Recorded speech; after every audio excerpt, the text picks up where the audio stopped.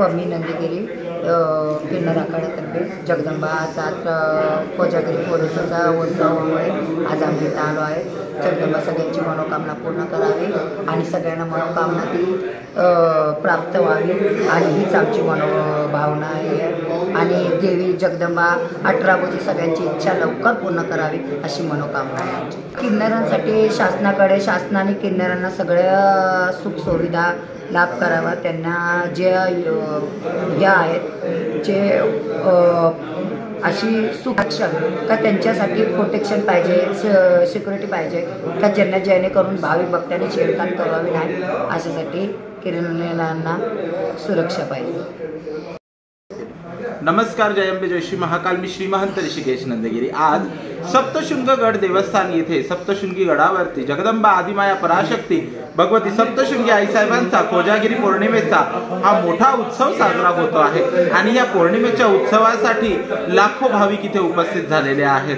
अगदी न मनुष्य साधू संत किन्नर सर्व देवी देवता इथे हजर झालेले आहेत. आणि आज विशेष अ, उपस्थिती म्हणजे की ह्या ग्र कोजागिरी पौर्णिमेच्या दिवशी ग्रहण पण आहे. आणि या ग्रहणामध्ये पुण्यकाल म्हटला जातो. ह्या दिवशी जे केलेल्या गोष्टी अगदी तिप तिपटीने माणसाच्या पदरी पडत असतात.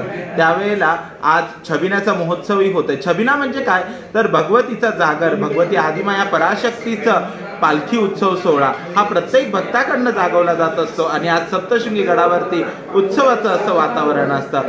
सप्तशृंगगड देवस्थान यांच्यातर्फे सुंदर अशा व्यवस्था सगळ्या केलेल्या आहेत आणि त्या सप्तशृंगगड देवस्थान यांच्यातर्फे आपल्या सर्व भाविक भक्तांचे सहर्ष स्वागत. नमस्कार मी खानदेश कलावंत गायक अशोक कुणारसे आज खूप आनंद होतो की आज कोजागिरी पौर्णिमा उत्सवानिमित्तानं आमच्या टायगर ग्रुपचे मुंबई शहराचे अध्यक्ष आणि उपाध्यक्ष त्याच्यानंतर पुणे शहराचे आमचे गोल्डन मॅन देसाई दादा यांनी आज कोजागिरी पौर्णिमेसाठी आई सप्तशृंगीच्या दर्शनाला आलात. त्याच्याबद्दल खूप बरं वाटतं आणि खूप आनंद वाटतं. आणि कोजागिरी पौर्णिमेचं महत्त्व असं आहे की आई साहेबांनी नऊ दिवसाच्या नवरात्रमध्ये खूप घनघोर असं युद्ध खेळलेलं आहे. आणि आई साहेबांचं महिषासुराचा वध झाल्यानंतर आई साहेब रक्ताने चिंब भिजलेले आहेत.